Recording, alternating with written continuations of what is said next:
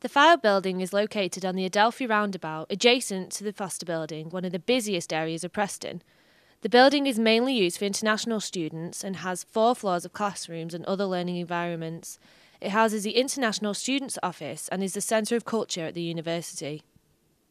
Most important feature of Fylde Building is that it houses Wiser, the one-stop place for all your study needs. You can drop in and have a chat to someone that makes an appointment to sort out all your study related problems quickly and in a relaxed environment.